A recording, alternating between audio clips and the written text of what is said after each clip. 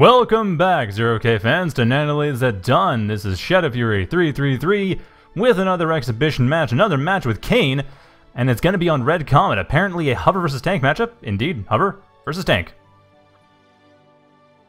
So GoogleFrog, for those of you not familiar, GoogleFrog is basically the main designer of this game, or at least the current main designer of this game, the one who's actually responsible for making all the units what they are, or at least making all the units act the way they do.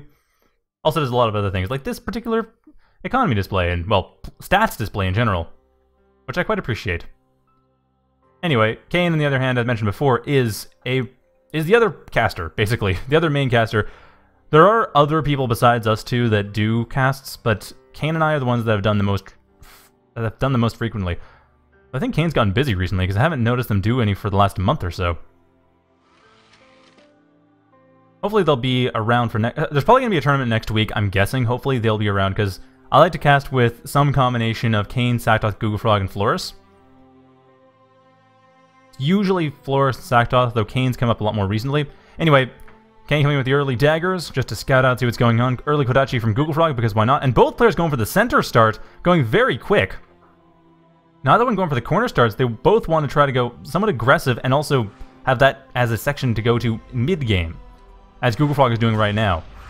So one of the things in this map is that there's basically three rough effective start points. There's this area out in the southwest or northeast. That's the typical start point. That's more defensible. That's just you have three metal extractors right at the start instead of two without having to worry about getting out of position in order to get the metal extractors. So three easy metal extractors. You have a corner that you don't have to worry about defending the back of. And in general, you just have a very safe position.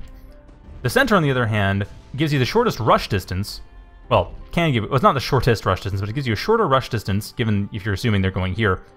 But it's still relatively safe, still have a decent amount of choke points around it, and once you set up a bit further forward, you can then take these metal extractors over here, as GoogleFrog is doing right now, and you don't have to worry about trying to go from that defensible position forward, you're actually just moving backwards. You're basically taking territory, you're claiming territory that you already have relative control over.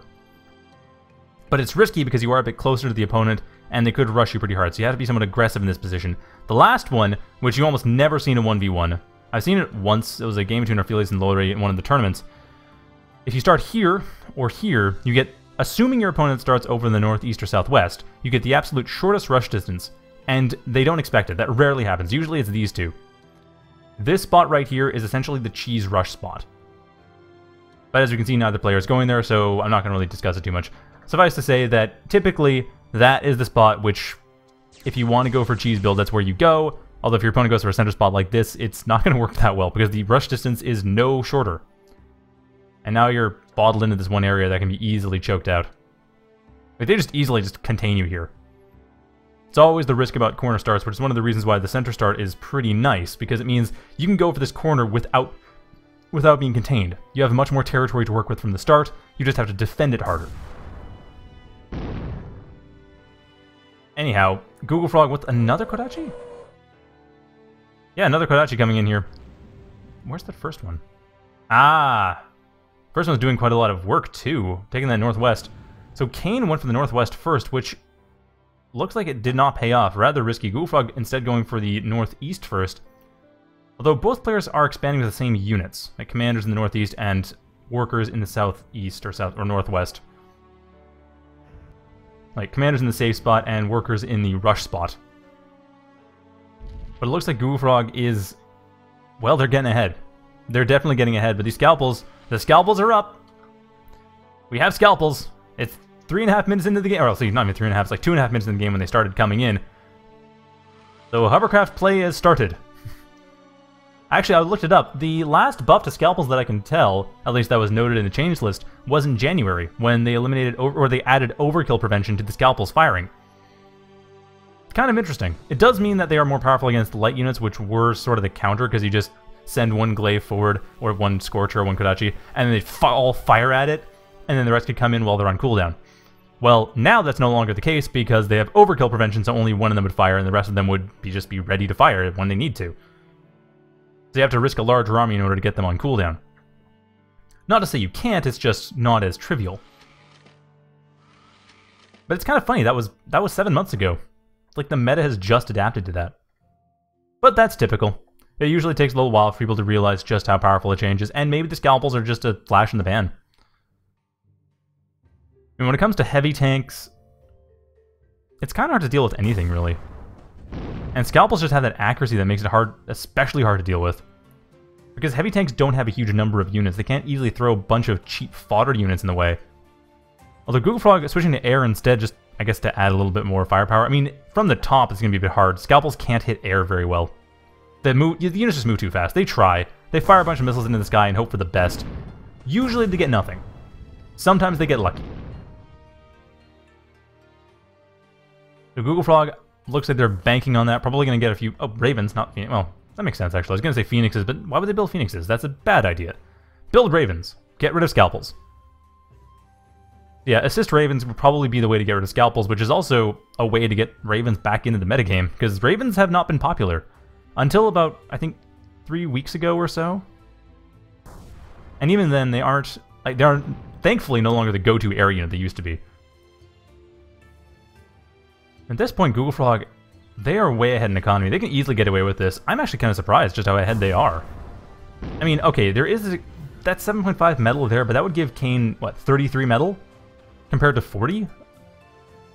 None of that's reclaim, too, which should point out. Like, uh, how much of that is reclaim? None of it! Thanks, GoogleFrog. That's actually really handy.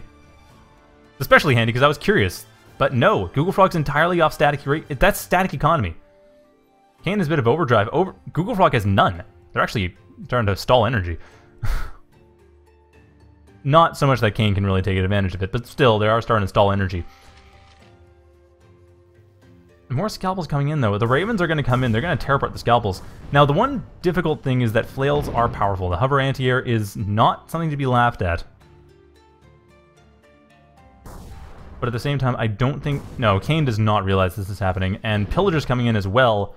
Also a good choice. Against Scalpels, I think the best choice is probably something either air, like Ravens, or long range. I didn't say they couldn't hit Ravens. Wow, that one's almost dead. But anyway, yeah, something air that comes in and kills them before it matters. Something really light like Glaives, or something that fires from such a distance they can't even deal with it, like artillery.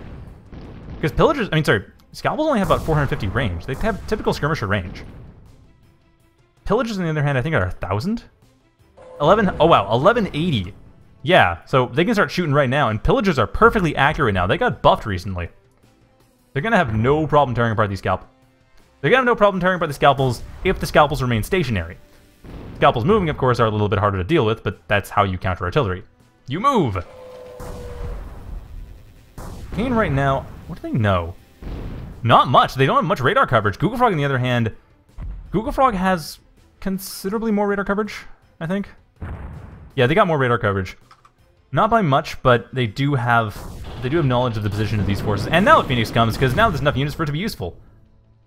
And, of course, the Flail. As mentioned. Flails deal only, like, yeah, about 400 damage. So Phoenixes... Phoenixes only have 400 health? Really? Huh. I guess... Oh, 650 health.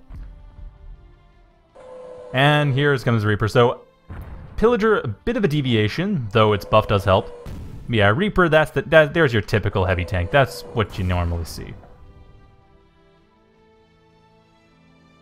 Well, his Ravens are helping a bit. And the Vulture's helping a lot too, because right now... Oops. Oh, we can't even see it. Never mind. Vultures actually have radar jamming. It's not super obvious right now. But yeah, Vultures actually have a bit of a jammer. Kind of wish it would glow the terrain or something where it was jamming. But yeah, that's that has jamming. So radar couldn't catch it if kaen had radar up front. Where's kaen's radar? Oh, kaen's radar is right in their base. Yeah, half the radar is off the map. So if they had frontline radar around here or something, then that Vulture would make a difference. GoogleFrog doesn't know that though, they're just being prudent, and that is wise. Prudence is well advised. Although admittedly, given that they have 20 extra metal on kaen, being imprudent wouldn't lose them too much. I think at this point, though, they mentioned in the comment they didn't know how to play this matchup very well. They're a bit confused as to what to do. So I think what they're trying to do is just play it kind of defensively, like semi-defensively, make sure they have enough units that they don't do anything silly. and then make sure they have enough of an economy that if they do something silly and they lose a bunch of units, they can easily rebuild them. Though, given that they're playing heavy tanks, you kind of need 30 metal per second minimum to make them work. To get Reapers up in a decent amount of time, these things cost 850 each. To get them up in a decent amount of time, you need at least 25 metal or so. Like 30 metal preferably, because that gives them up 1 per 30 seconds. And even that's not that fast. But yeah, running two factories, one of them heavy tanks, with 60 metal, that's a pretty good speed. And there's GoogleFrog trying to figure out, what, well, trying to push in, because why not? Kind of risky though, and kaen... kaen wasting those Raven shots nicely. These halberds... Oh yeah, hold fire. That's what you want to do. I should point out, hold fire is right here. Those of you not familiar with the fire state system, this is the fire state system. It's extremely useful. For halberds at least, because they're all shielded right now. Because halberds take very little damage when they aren't firing. It's especially useful for that disarm. That, that Thunderbird basically did nothing as a result of that. So kaen getting all of the information, knows exactly what's happening. These halberds could probably escape unscathed except for that one that died. Yeah, these halberds just... I don't know, not, not quite. Another one will die. But still, that's inform that's loads of information that kaen has. Ah, and they unwisely went to fire. But yeah, now kaen knows everything. Like, kaen has complete knowledge. Oops.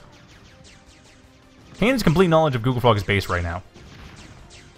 The only thing they don't know is a couple things over to the south which don't matter too much. There's radar, which makes a bit of a difference. The Vulture is a much bigger difference, though. GoogleFrog hiding their commander, which probably won't work given that Scalpels can hit over things, but they are disarmed.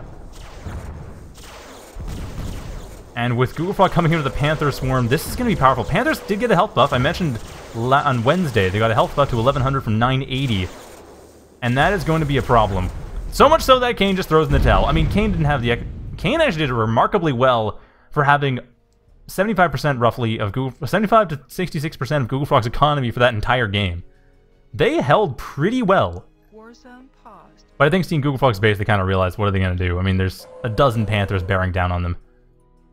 That's, like, seriously, that's bit more than that, but still, almost 5,000 metal worth of Panthers bearing down on them. That's not something you can easily deal with. Panthers in general are actually kind of hard to deal with. For Hovercraft, it's not so bad, I don't think. Like, Maces, I think, can do decently well. Daggers, I think, die too quickly to be useful. I'm hmm, not sure what else. I don't think they really have much else other than those two that would... And scalpels, of course, but scalpels need to have position. You need be able to see them coming and fire at them, destroying most of them in advance. And with 1100 health, that's two shots. That's still pretty viable. Anyway, next game is going to be between... GoogleFrog and kaen once again, this time on Isle of Grief. A map I was actually picked because I wanted to show it a bit. I have played on this map, Isle of Grief that is. Obviously Red Comet I've played on several times. Isle of Grief is a map, well, I'll go into more detail. It seems a bit crafty, like a bit StarCrafty. I'm not entirely sure if it was based on any StarCraft maps. It kind of has that ramp, plateau, and choke point setup that a lot of StarCraft maps do, and there are some, like Ravaged, maps in Zero-K, or in the Spring Engine community in general, that are based off StarCraft maps. Ravaged works really well. Isle of Grief in my experience, was a little wonky, but I'll go over it more once we get to it, so stay tuned for that. It'll be up in just a moment.